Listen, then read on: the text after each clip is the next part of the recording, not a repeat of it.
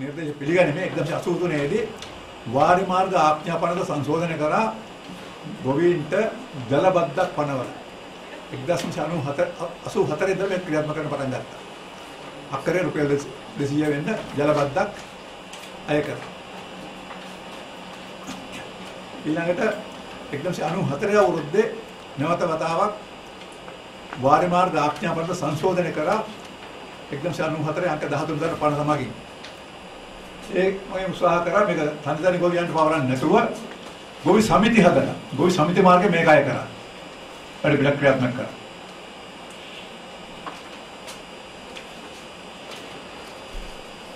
ලෝක බැංකුව ලංකාවට ඉදිරිපත් කරපු 95 1995 ජූලි මාසයේ ඉදිරිපත් කරපු මෙන්න මේ ලේඛනී Sri Lanka non plantation crop sector policy alternatives කියන ලියවිල්ල පැහැදිලිව කියනවා මෙන්න මේ විදිහට මේකල නිර්දේශය it must be accepted that in economic terms irrigation water unlike drainage is a private good. And so should be directed by market forces. For this basic legal and institutional structures needed to permit market forces to operate must be developed. This center around enforceable water property rights for individual farmers and water markets. Only this will permit efficiency and sustainability in utilization of this vital resource. ඔක තමයි ප්‍රතිපද. ওই ප්‍රතිපත්තිය දිගටම ක්‍රියාත්මක කරා. මේක ක්‍රියාත්මක කිරීම සඳහා 1993 අවුරුද්දේ ලංකාවේ මේ අනුතුනේ අවුරුද්දේ වැඩ පිළිවෙල පටන් ගත්තා. ඒකත් ලෝක බැංකුව හා ආසියානු සංගත බැංකුව හා ඇමරිකන් USAID සංවිධානයේ සහාය ඇතිව ඒකදී එක වාර්තාවක් ඉදිරිපත් කළේ වාර්තාවේ නිර්දේශ කරා ඒ ඒ වාර්තාව අනුව පටන් ගත්ත ආයතන දෙක පිළිට කළා. එකක් තමයි මේ water resources council ජල සම්පත් මණ්ඩලය කියන එක පිළිටෙව්වා. ජල සම්පත් ලේකම් කාර්යාලය water resources secretariat 1996 අවුරුදු. ඒ දෙක මගේ ඊළඟ අවුරුදු 3 ඇතුළත 96 ඉඳලා අවුරුදු 9 වෙනකොට ඒක ලියවිල්ලක් සකස් කරලා ප්‍රතිපත්ති මාලා සකස් කරලා national water resources policy ජාතික ජල සම්පත් ප්‍රතිපත්තිය සහ and institutional arrangements ජාතික ජල සම්පත් ප්‍රතිපත්තිය සහ ආයතනික වැඩපිළිවෙල කියලා එක. ඒගොල්ලෝ තකහණියේ ජල සම්පත් පනතක් සකස් කරා. ජල සම්පත් පනත. A draft water resources act. ඒ විතරක් නෙවෙයි draft water resources regulations. මේකත් හදුවා. මේවා හදලා මේ පිළිබඳව සාකච්ඡා පැවැත්වුවා උපදේශ පිළිබඳ දීමේ සාකච්ඡාවක් 1998 නොවැම්බර් මාසේ 12 වෙනිදා කළුතර ටැන්ජරින් හෝටලයේදී මේ වැඩ පිළිවෙලට සම්පූර්ණ උදව් හම්බුණා ආසියානු සංගঠন බැංකුවත් එක්සත් ජාතීන්ගේ ෆුඩ් ඇන්ඩ් ඇග්‍රිකල්චර් ආහාර කෘෂිකර්ම සංවිධානයක් නෙදර්ලන්තේ ආණ්ඩුවක් මේකට එක්කවල තමයි මේකට මුදල් වේදන් කරන්නේ. හදලා මේ ප්‍රතිපත්තියට අමාත්‍ය මණ්ඩල අනුමැතිය දුන්නා 2006 අවුරුද්දේ මාර්තු මාසේ 28 වෙනිදා. චන්ද්‍රිකා කුමාරතුංග මහත්මයාගේ ආණ්ඩුව. මාදර ඔබ මේ ඉන්ටරප්ට් කරන්න ඉඩ දෙන්න මේ ඔබ ක- ඔබ දක්වන අදහස් ඉතාමත්ම වැදගත් බව ම- බවට මට සැකයක් නැහැ. නමුත් මේ අපි මේ කොමිසම විසින් හොයන හොයා බලන්නට අපිට අපගෙන් ඉල්ලා තියෙන්නේ විදේශීය වෙළඳාම හා සම්බන්ධ කාරණා ඒ පිළිබඳ ප්‍රතිපත්තිය සම්බන්ධයෙන් වැදගත් වන කාරණා පිළිබඳ මහජන මතය හොයාගන්නට කියලා. ඔව් මා- කියන කාරණා ඒකට සම්බන්ධ කරලා ඉදිරිපත් කරන්න පුළුවන් කමක් තිබෙනවා. මම බොහොම සතුටුයි. ඔව් සම්බන්ධ කරලා මම මම ඉදිරිපත් කරනවා. ඒක අඛණ්ඩ ක්‍රියාදාමයක්. නොකොඩවා. 1980 ගණන් වලින් පසුවේ පටන් ගත්තා. නොකොඩවා මේ අතර තාම අතහැරලා නැහැ.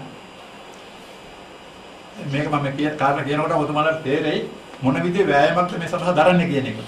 මෙහෙම කළා දැන් මේගොල්ලෝ ප්‍රධාන කරුණු කීපයක් ඉදිරිපත් කර මේ වාර්තාවල ඉදිරිපත් කරලා දෙන මෙන්න මේ කාරණා. මේ arguments for the water management policy. මම මේ ලියවිල්ල සකස් කරලා දෙන මම මේක පිටු 10 12 විතර ගිහලා මම මේක දෙන්න මීට අමතරව මේවට අදාළ අනපනතල පිටපත් ඔක්කොම ගෙනලා තියෙනවා. මම විශාල ලිපි ලේඛන සංඛ්‍යාවක් තියෙනවා. ඒක මම පිටපත් ඡායරු මේ පිටපත් ගන්න ලැබෙන සලසන්න. දැන් මේක මේගොල්ලෝ කියනවා මෙන්න මේ කාරණා. මේ වගේ මිනිස්සු බය ගන්න හදනවා. ඉස්සරහට ලොකු ජලහිගයක් මේකට ඇති වෙනවා. අන්න ඒ නිසා ජල කනමානාකාරයක් නොකර බෑ. ඔක තමයි කියන කතන්දරේ. මේක කියනවා water is become a scarce resource of for Sri Lanka due to its increased use in irrigation, industrial and domestic uses. Water pollution from domestic, agricultural and industrial sources it is contaminating surface and groundwater. ඔක තමයි කියන්නේ. ජලය සම්පත ජලය නිකන් නාස්ති වෙනවා මේ අපවිත්‍ර වෙනවා මේ පාවිච්චි කරන ක්‍රම නිසා. ඒ කියන්නේ මේක වෙලෙන්දට බාර දෙන්න. ඒතකොට වෙලෙන්ද මේක අපූර්වට කරයි. කාර්යක්ෂම කරයි කියන එක මේක කියන්නේ. ඒ විතරක් නෙවෙයි there is a need for water resource management to ensure the use of water resources in an effective, efficient and equitable manner. සාධාරණ විදියට කාර්යක්ෂම විදියට බලදායී විදියට මේක කරන්න නම් මේ ජල කළමනාකරණයක් අවශ්‍යයි. එතකොට තව මේක අපූර්ව කතන්දරයක් කියනවා people do not understand the value of water and they waste lot of water. මිනිස්සුන් වතුර වටිනකම තේරෙන්නේ නැහැ මිනිස්සු වතුර නාස්ති කරනවා. ඒ කියන්නේ මේක වටිනකම තේරෙන්න නම් වතුරට මුදල් අය කරන්න ඕන. එහෙම කරොත් විතරයි මේක තේරෙන්නේ. ඒ විදිහට මේක සාධාරණ කරන්න උත්සාහ කරනවා. ඊළඟ මේක කියනවා more than 85% of use of developed water resources are for agriculture. ගොවිත 85ක් ගොවිතැන් සඳහා පාවිච්චි කරන්නේ විශේෂම වියලි කලාපේ මේ වී ගොවිතැන් paddy culture is not suitable for our country. මෙන්න කාරණේ. වී ගොවිතැන අපේ රට සුදුසු නැහැ. ඒක වතුර නැස්තේ වී ගොවිතැන ඉතින් ඒක වී නවත්තලා අපි වහම බඩහිරින් වෙන වෙන දේවල් වහම. යාත්‍රා වෙනද බලලා සහ මේ දේවල් වහම. අපි මිනිස්සු හාමතේ තියමු. මේක මේක අද අද හාල් මිලට යොදන්නේ මේ ප්‍රතිපත්ති ක්‍රියාත්මක කිරීම ප්‍රතිඵලයක් වශයෙන්. මේක කෙලින්ම ජනතාවගේ ජීවිතයට බලපාන ප්‍රශ්නයක් බවට පත් වෙලා තියෙනවා. එතකොට as water would be imputed an economic value, there would be a need to apportion a value to the water used for agri- irrigated agriculture so that proper management, monitoring and regulations can take place. බොහොම පැහැදිලිව මේක කියනවා. එතකොට මේක මම තව කාරණාවක් සඳහන් කරලා මේ විමර්ශ වෙනවා. ඒ තමයි මේක තියෙනවා මේ මහා භයානක ප්‍රතිපාදන වගේ මේ 50 වල තිබුණා. මේ 50 වල හැටියට සියලු වතුර ආණ්ඩුවටයි. සියලු වතුර. පොළොව මත පිට තියෙන වතුර මේ විතරක් නෙවෙයි භූගත ජල මේ සියලු ආණ්ඩුවටයි. වතුර පාවිච්චි කරන්න බෑ ආණ්ඩුව අවසරයක් කරලා. ලිඳ කපා ගන්න බෑ. මේක හැටියට. ලිඳ කපා ගන්නවා නම් පළාත් සභාවේ ප්‍රාදේශ සභාවේ අවසරයක් ගන්නවා. මේක හැටියට. මේ කෙඩොපති දාලා දීච්ච දේවල් හැටියට. විලකට විලකට බහින්න බෑ කාටවත්. මොකද ඒක ඒකයි tie ආණ්ඩුවට. ඒ විතරක් නෙවෙයි මේක කියනවා ජල වාෂ්පත් ආණ්ඩුවටයි තියෙන රටේ පොළොවට වැටෙන දේවල් පොළොවේ අයිතිකාරයටයි. මේ මේ වගේ පණත් හදන මිනිස්සු මම දන්නේ කොහෙද කියන්න ඕනද කියලා. මම මේවට විරුද්ධව මම දිගින් දිගටම කටයුතු කරා එලිදරව මේ එලිදරව කරන කටයුතු කරා. නමුත් අපිට පුළුවන් වුණා මේ ප්‍රතිපත්තිය ක්‍රියාත්මක කිරීම වළක්වන්න. දැන් මේකේ මම තව එක කාරණයක් කියනවා මේක විශාල වශයෙන් මුදල් වියදම් කරේ ආසියානු සංවර්ධන බැංකුව. ආසියානු සංවර්ධන බැංකුව තමයි මේ ජල කළමනාකරණ ප්‍රතිපත්තිය කෙටුම්පත සකස් කරන්න කියලා මුදල් වියදම් කරේ. ඒ වගේ වගන්තියක් දාලා තිබුණා ඒගොල්ලෝ එක්සත් ජනපද ඩොලර් මිලියන 19ක් මේකට දෙනවයි කියලා. ඒ ප්‍රතිපත්තිය ඒ කාල නියමයක් කළා තිබුණා. 2001 දෙසැම්බර් මාසේ 31 වෙනිදා මේක ක්‍රියාත්මක කරනවා නේ. නමුත් අපි මේ වැඩ පිළිවෙල වැළැක්වුවා. ඒක නේද ඒව ක්‍රියාත්මක කරන්න බැරි වුණා මේගොල්ලන්ට. මේ ආණ්ඩුවලට. මේ එතකොට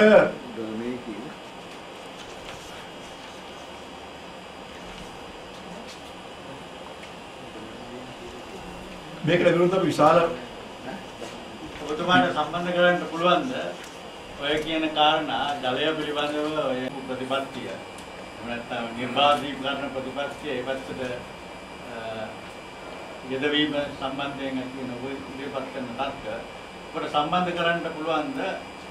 අ, විදේශීය වෙළඳාම් සඳහා අපනයන සඳහා නිෂ්පාදන කටයුතු කිරීමේදී ලංකාව තුළ ඔය කියන කාරණා කොයි විදිහට බලපාන්නේද එහෙම නැත්නම් ඒකම ආනයන ආදේශනය සඳහා ලංකාවේ නිෂ්පාදනය කරන දේවල් නිපදවීම සම්බන්ධයෙන් ඔය වතුර පිළිබඳ ප්‍රශ්නය ඔය ප්‍රතිපත්ති කොයි ආකාරයෙන් බලපන්නවත් නෑ මට කරන්න පුළුවන්. මොකද මේ වැඩේ තියෙනකොට විනාඩි 20ක් අතරතුර මේක කරනවා කියන එක ඔය කාරණා ඔය කාරණා සාමාන්‍යයෙන් මේක අපිට කියවන්න දීලා.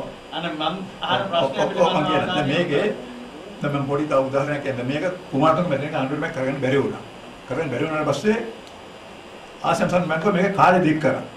මේ ප්‍රතිපත්ති සකස් කිරීමේ කාලේ ඔය ඔය කාරණාවටම නේ ඔය කාරණා. සාමාන්‍යයෙන් අපි දන්න දේ. ඔව් දැන් මම මේ තව එක කාරණයක් කියන්නේ. මේකෙදි මම පාර්ලිමේන්තු පනතක් ඉදිරිපත් කරා ජල සේවා ප්‍රතිසංස්කරණය කරන්න. මේක ක්‍රියාත්මක කිරීම සඳහා කුමාරතුංග මැදින් එක ඇමතිපත් කරේ. සරත් අමුණුකම කියන ඇමතිපත් කළා. එයා ලංකාව පුරාම ඇවිල්ලා ගියා වාරි සභා පිළිතුරු. මිනිස්සු මුලා කරන එකට කරා. හැබැයි ඒක කරන්න බැරි මොකද ජනතා විරෝධයක් මතුවෙලා ආවා. ඊට පස්සේ ආව රනිල් වික්‍රමසිංහ මහත්මයා 2001. එතුමාට පස්සේ එතුමා ඉතාම කපටි වැඩ පිළිවෙල කරනවා කරා. ඒ කපටි වැඩ වෙන මොකද්ද? මේ ජල සම්පාදනය ජල කලවණ සම්බන්ධ මතුවෙන විරෝධය බෙදා හැරින්න කටයුතු කරනවා. කරේ කොහොමද? මේ පානීය ජලයේ සැපයීම පිළිබඳ එක ඇමති කෙනෙක්පත් කරා. වාරි මාර්ග පිළිබඳ තව ඇමති කෙනෙක්පත් කරා. මේ ජලාශ පිළිබඳ තව කෙනෙක්පත් කරා. ඒ සියල්ල කළමනාකරන තව කෙනෙක්පත් කරා. ලක්ෂ්මන් සේනන්ද කොටසක් දුන්නා. නෙල්සන් පොළොන නෙල්සන් තව කොටසක් දුන්නා. ජයවික්‍රම පෙරේරා දුන්නා. Overall management. සියල්ල කළමනාකරන. එහෙම කළා මේ උසාවියේ පනතක ඉදිරිපත් කළ පාර්ලිමේන්තුව. පාර්ලිමේන්තුව ඉදිරිපත් කරාම මම උසාවියට ගිහිල්ලා උසාවියේ නියෝගයක් ගත්තා මේක පාස් කරන පාර්ලිමේන්තුවේ බලයක් නැහැ කියලා. ඒක හින්දා මේක වැළකුණා. මොකද ව- මම පෙන්නුවා ජලය කියන එක පළාත් සභා විෂයක්. පළාත් සභා නමේම අනුමැතිය නැතුව මේ පරිදි පාස් කරන්න බෑ. මේක මේක දැල්ලා තිබුණේ නැහැ. තව කාරණා මම මතු කරා තීනුදී අග්‍රශිකාරතුමා කිව්වා මගේ අනිත් කාරණා වලට යන්න ඕන අවශ්‍ය වෙන්නේ නැහැ. මොකද මේ කාරණා නිසාම මේ පරිදි පාස් කරන්න බැරි නිසා. ඒක වැළක්වුණා. ඒකෙදි කෙලින්ම කටයුතු කරලා තිබුණේ බෙ- ජලය බෙදා හැරීම මේ ජල සේවය සම්පූර්ණයෙන්ම පෞද්ගලිකරණය කරා. සම්පූර්ණ පෞද්ගලිකරණය. ඉතින් මේක කරගෙන යනකොට දැන් මේක මේක මේක තව කාර්යයක් ඉදිරිපත් කරා. දැන් මේක නඩුවේදී උසාවියට ඉදිරිපත් කරා. ආණ්ඩුව පැත්තෙන් කියපු කාරණා තමයි වතුර මේ ලංකාවේ මිනිස්සුන්ට මොකද වතුර නැති වෙනවා. එහෙනම් මේ ජනතාව සුබචිතතාව මේක කරන්න කියලා. නමුත් ඒ අතරේ අර බත්තර මොළේ තියෙන ජල සම්පත් දේගම් කාර්යාලය හදව මැප් එකක් තිබුණා. ඒකේ මේ මැප් එකේ පැහැදිලිව ඉදිරිපත් කරලා දුණා. මේ මැප් එක පැහැදිලිව ඉදිරිපත් කරලා දුණා. ආසියාවේ සියලු රටවල ජලය හිග වෙනවා. හැබැයි ලංකාවේ ජලය 2025 තනි කොළ පාටින් තියෙනවා. මොකද වතුර උතුරන්න අපට තියෙනවා. ලංකාව විතර එකම රටක ආසියාවේ වතුර හිගයක් නැහැ. එතකොට මේ කරන්න හදන්නේ මොකද්ද? අර වතුර හිග තැන් වලට අපේ තියෙන ජල සම්පත පාවිච්චි කළා මේක ජාවාරම් කරන්නේ හදන්නේ. අපි තර්ක ඉදිරිපත් කළ උසාවියට. ඉතින් උසාවිය අපිට කිව්වා මේ ඔය ඔච්චර දුර යන්න ඕනේ නැහැ දැන්. මේ මේ පනද පළාත් සභාවල අනුමැතිය නොගත නිසා මේක අපි ප්‍රතික්ෂේප කරනවා. ඒ නිසා අර ප්‍රශ්නවලට දැන් යන්න ඕනේ නැහැ කියලා. ඒක පස්සේ આવත් බලමු කියලා. ඒකයි තත්ත්වය. කියන්නේ මේක දැන් මම තව එක කාරණයක් කියනවා වතුර වෙලඳාම තමයි ලෝකේ දිනන හොඳම වෙලඳාම. සමහර කෙනෙක් බෙහෙත් වෙලඳාම කියලා. බෙහෙත් වෙලඳාම නෙවෙයි. වතුර වෙලඳාම. මම ඇමරිකාවේ ඇවිදිනකොට බැලුවා ලීටර් දෙකමාරක මේ කොකා කෝලා බෝතලයක් නැත්නම් ෆැන්ටා බෝතලයක් 793යි. ඒ කාලේ වුණේ 2003 දී 2001 දී. ලීටර් එක වතුර බෝතලයක් ඩොලර් එක 723ක් වුණා. එතකොට වතුර වල තියෙන වටිනාකම එකෙන් පේනවා. දැන් මේ වතුර ලෝකේ විශාලම ලාභ ලබන ඒ ප්‍රමාණවත් කරුණු තියෙනවා මේ ජාවාරමය කරන්න හදන්නේ. ඒ විතරනේ තව තව එක් කාරණයක් තියෙනවා. ඒක බලපාන කාරණයක්. ඒ තමයි දැන් ඔක්කොම මම මේ කරන උසාවියට ගියා මම කියන්නේ මේ මේ අපේ මේ පාර්ලිමේන්තු මහත්තයා හිටියන එයා දන්නවා.